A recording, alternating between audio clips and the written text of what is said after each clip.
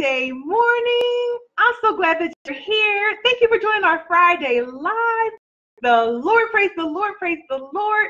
Coach Ingrid Hughes here, the CEO and founder of Team Life Changers, where we change lives every single day, starting with our own. You know, I'm a health and fitness change agent who helps people get healthier physically, nutritionally, and financially, right?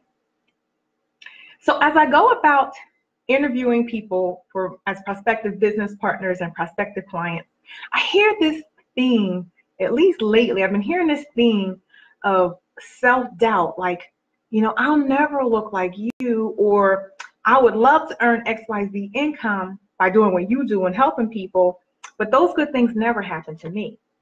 Is that you? Are you living in this constant state of self-doubt and want to be set free from that bondage? I have the solution. Don't know if you're going to like it. It's actually very simple, but then it's not so simple at the same time. So you control your thoughts and you will control your circumstances. So I was reminded of when I was learning how to ride a bike, how I kept falling as soon as one of my parents would let go. Yeah, I needed both my parents to help me ride a bike. I guess I was a little slow on the uptake for bike riding. so I fell so much that my parents needed a break. My mom said, you know, I was starting to hurt her back from having to lean over. She said I needed a break. And so I started to whine and I was like, I'll never learn how to ride this bike like Sonia can. And Sonia's my older sister. So my mom turned around and she was like, Well, not with that type of attitude, you won't.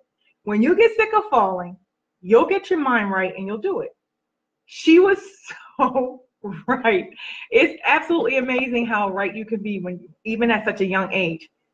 So I also stopped comparing my journey to my older sister's journey. See, she's three years older than me.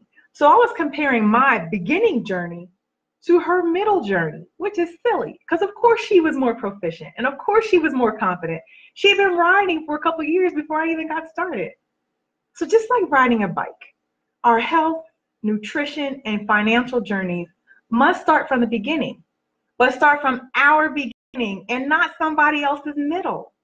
So when you're tired of mediocrity and you're tired of judging your journey based on someone else's, get started on controlling your thoughts and watch it control your circumstances. Well, how, Ingrid? Well, I'll tell you what I do to control my thoughts.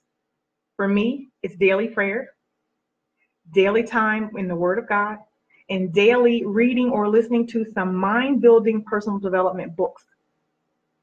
But see, listen, what good does it do if we only complain about our circumstances, but never ever implement a single thing to change them?